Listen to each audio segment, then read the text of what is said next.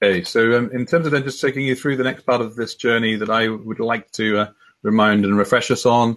So yeah, something's changed in the air was my subject for yesterday. I'm going to continue that little discussion and then hopefully Colin will pose some questions. So reminding you of the hashtags, we've got uh, a few things going on today, uh, which maybe you want to capture. We're happy for you to capture screens. Um, and as long as you uh, put the hashtags alongside that, that would be even better if you put it on social media so we get a bit of coverage. The, the left-hand picture, again, is just a reminder that we're just thinking about how do we affect the change that we need to, that the next generations will benefit from the, the, the brilliant part of our technology that allows us to meet and connect and be part of this safe environment of aviation. You know, we need to think about not just for now, but for the future. But if we don't start d- delivering now, we'll miss out on that future. So a bit about me. You, you know me as maybe uh, part of uh, aerospace. I've worked in BAE Systems, Rolls Royce, and uh, GKN most recently, largely working in technology around sustainability and also Industry 4. Um, you can uh, find out a little bit more about what I've been up to. But what I'm going to talk a bit about today, after we've talked about the supply side, we've talked about the demand side. Really, I want to make sure that we're starting to prepare ourselves for day three and the call to action. And how I go about that typically is to think about well, what is sustainable aviation teaching us and how are we going to accelerate innovation? And then really putting that into perspective of what you personally can do. So, from a perspective of that sustainable aviation need, um, we heard yesterday, I think, from EDF, and uh, we also will hear from um, EasyJet, um, and we've heard from Roland Berger that the call to action is coming from the youth. Uh, and uh, this lady, Greta Thunberg, um, has most recently you know, really pushed the aviation sector to think a bit differently. Um, and frankly, I think she's uh, motivated a large number of people, including my children, and I hope some of yours, to start really questioning what we're doing personally, professionally in this industry. Are we really listening to the scientists? And if you think about the last year of the pandemic, we've had to listen to the scientists more than ever. Um, this statement was made back in 2019, and my kids went to see Greta Thunberg last year in the middle of um, January, actually, so about this time last year. And uh, we realized that there's something profound going on. And I think Roland Berger's uh, Robert Thompson yesterday said one of the causes of why hydrogen now and why it's different is because of that public perception and public need, um, not just the technology being ready, um, but the real desire to make a real difference in this world. So let's just talk about what we mean by that. You know, so we do do know this, and um, Ed Hawkins here of Reading University published uh, a, a, lovely paper, which was um, also supported by an app, which if you're interested, just uh, hashtag show your stripes. And what he basically did is point out in September 2019 that all this climate strike, uh, all of these uh, uh, global actions that are taking place are largely because we've been ignoring the facts. If you look at that chart, the blues are where cooling has been happening since uh, over 100 years ago. But you take the last 20 years, global warming is increasingly hitting us in our faces. And we've been kind of putting it slightly to the back end of our thinking in terms of what we should be doing as an aerospace and aviation sector. Um, and I guess the motivation for all of us is to think hard about, you know, what is it that we can do? I mean, if we don't do anything, there are consequences. And I guess that the next thing we can talk to in, in, in these slides, now uh, so I get my computer to work, um, is that we've got a lot of opportunity. And um, so let's talk about the opportunity today. Um, if we take the risks and turn them into uh, opportunities, I like to look at the World Economic Forum risks. And if you think about it, and now I look at this in a different way today than I did even this time last year, you, we are looking there at the top 10 risks that were highlighted by uh, the World Economic Forum ahead of Davos 2020, which was about this time last year. Extreme weather events, failure of climate change mitigation adaptation, natural disasters, man made environmental disasters, biodiversity and loss, and econo- ecosystem collapse. Um, you know what? They are all things that we actually contribute to in some shape or form. So we have to do something because the, the, the spotlight is on, of the top 10, something that we can do something about in our sector. Um, the other thing that you can look at from that perspective is, and if we can catch up with the, the internet, um, what the impact is. And of course, the one thing that I hadn't spotted until we, we, I re-looked at this set of slides is down the bottom there. You know, impact of spread of infectious diseases was put down at number ten. Um, on our industry, I think it could be number one today. And uh, you know, but but really, is climate change actually more important than COVID and the effect that it could have on our travel system, our way of living, and our livelihoods in terms of connecting people? I think it is, and I think that the fact that we we um, look at this and think about the panic, the pandemic, the response and call to action that we've achieved with so much science and technology um, to really mitigate that impact of number ten. Think about all that energy, enthusiasm, and collaboration that we could put into the other five. And I just let you pause and think about what you know we should be doing differently, learning from the lessons of COVID, collaboration, you know, even things like the ventilator challenge. Um, maybe there's more to be gained by collaborating than ever before. And I think that one of the messages that we're going to hear today is, you know, there's no one silver bullet. I'm sure we're going to hear that multiple times. And I hope we're also going to hear about how, how these companies want our help in the supply chain and need our help. So, yes, we've heard this picture, we've seen this picture. Climate change is real. Anyone's had the um, chance to look at the growth in aviation, yes, we've got a blip, and it will probably recorrect from even this chart. But if we continue to produce CO2 at the rate that we are on current platforms, then we will never meet the 2050 goals to reduce from 2005 uh, metrics by 50%. And that's not acceptable.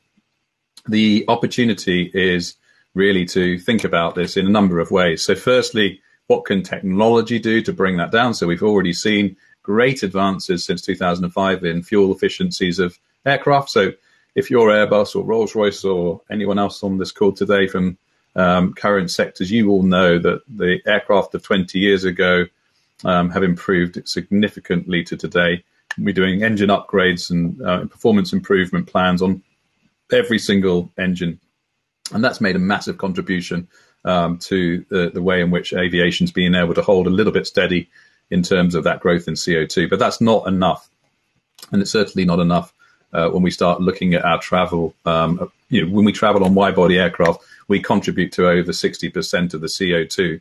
But when we travel on a single aisle, there's still a lot of flights on single aisle, but we need to tackle that. So we do need to look at radical options. And today, uh, you could call hydrogen a radical option, but for me, it's probably one of those parts of the mix that's not that difficult to see that it could be achieved.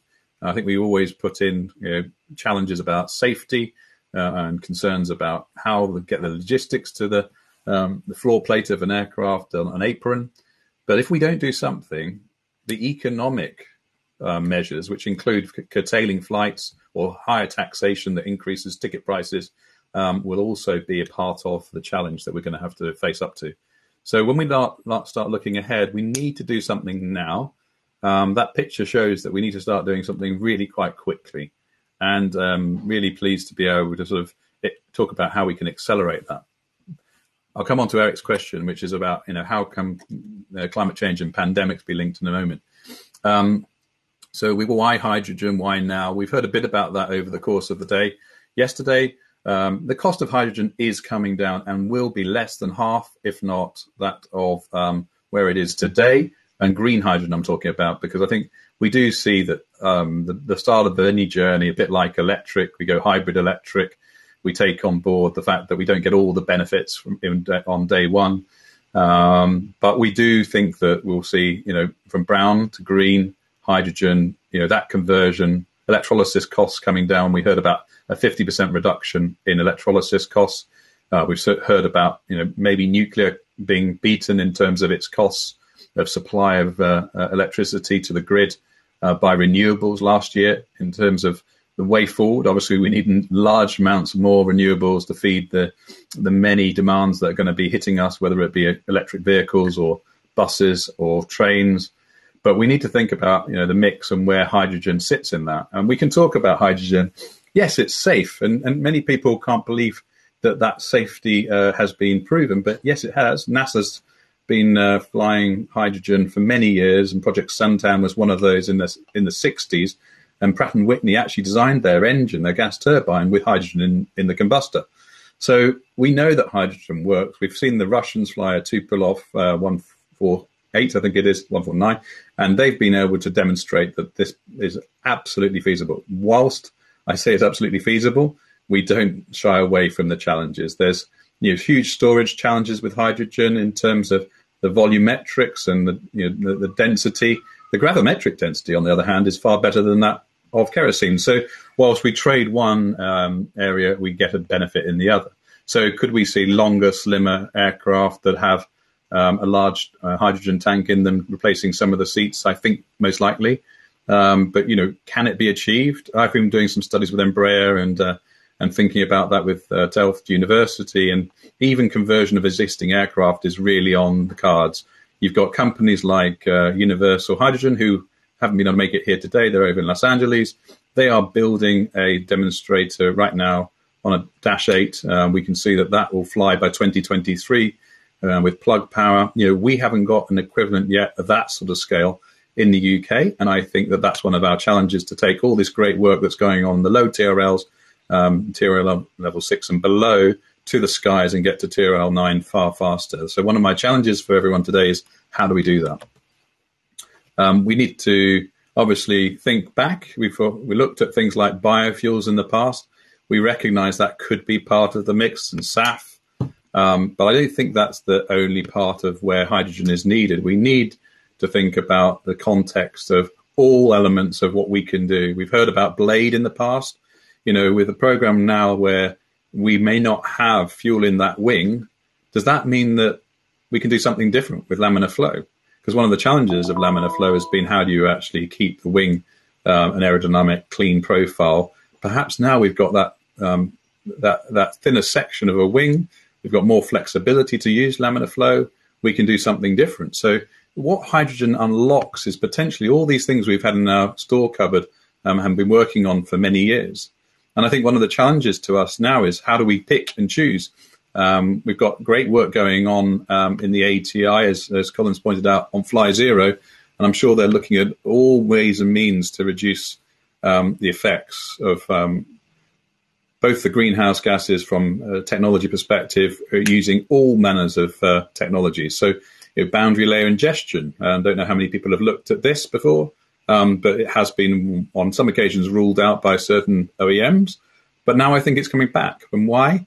Because when you start being able to do distributed propulsion and hydrogen enables electric hybrid, um, then we can see a different way to ingest the boundary layer and we potentially reuse that boundary layer effect to reduce the drag. And so we've got multiple um, uh, different technologies that begin to get unlocked due to hydrogen.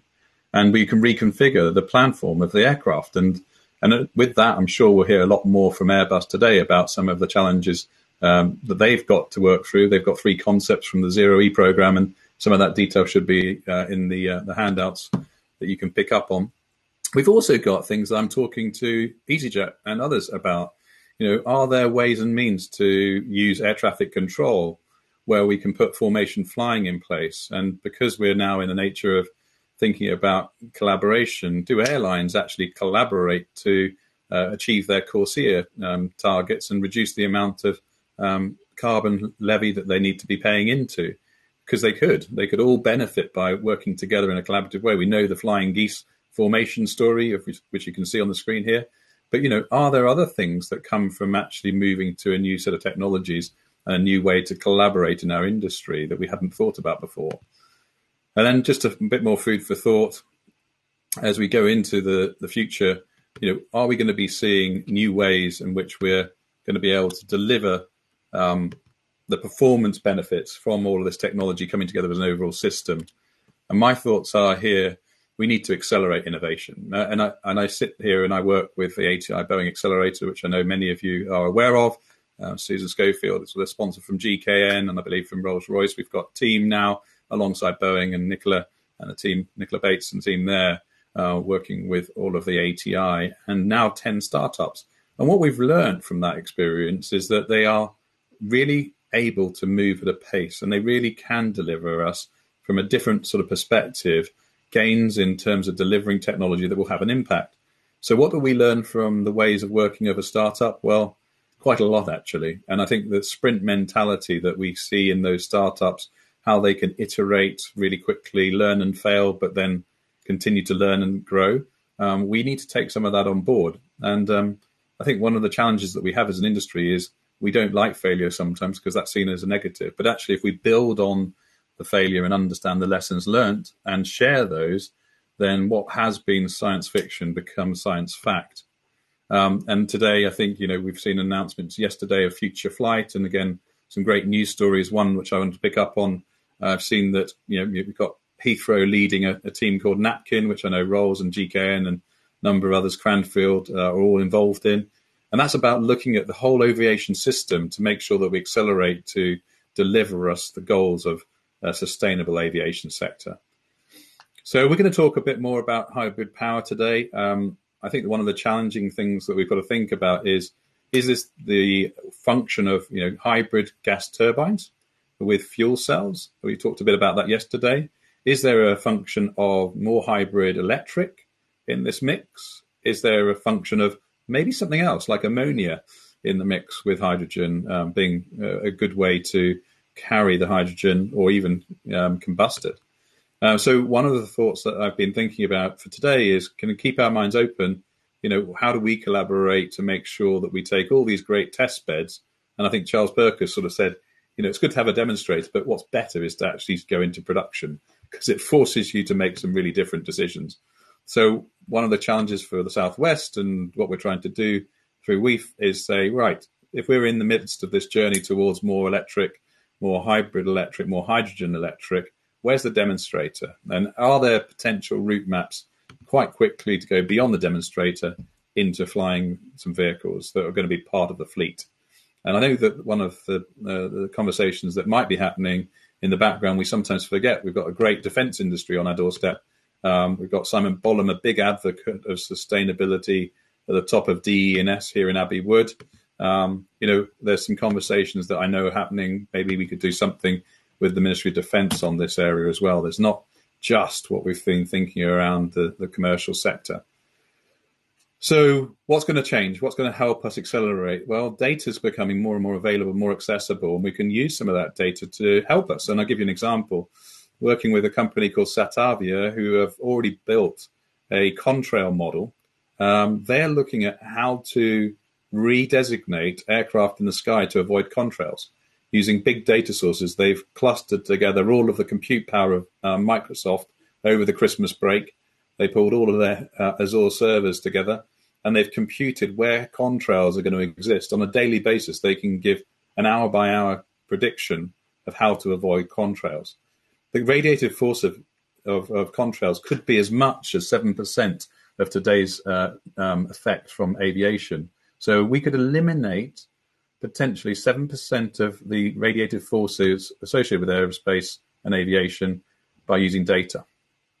And I finish with a slide that hopefully motivates in, on the how before we then go to questions and quickly then introduce uh, Airbus as we set up for the next session with Jackie. Um, I think we need to start thinking about policy and strategy. Um, that's really what Ben Harrop tomorrow will be talking to us about on day three. We've talked a bit about accelerating research, some great examples of that going on. And I think we also could start talking about really, you know, what can we do to collaborate differently and how are we going to do that? You know, we've got the models of the ventilator challenge, which we wouldn't have had this time last year, you know, working together, finding new ways, tackling challenges, but really bringing together demonstrators at um, ventilator ch- pace. And I think for me, one of the things that I'm doing to, to promote, I guess, that, that pace and agility of design and development is I'm working with a little company called MyMask Fit, where I've been able to use the industry foreknowledge I've had to help the NHS receive masks that um, are really um, well-fitting PPE for the future, so they can scan their faces using a mobile app, and the next day using additive manufacturing, they'll have a mask that fits them. So that's just a little background um, before we go into our our session with Airbus. So, Colin, any questions?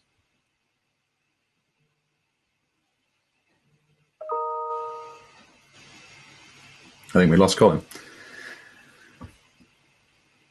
So if um, if everyone's happy, we're all settled in. I'm going to just uh, switch over to the other session, and um, we'll look forward to seeing you with Jackie in a moment. Thank you.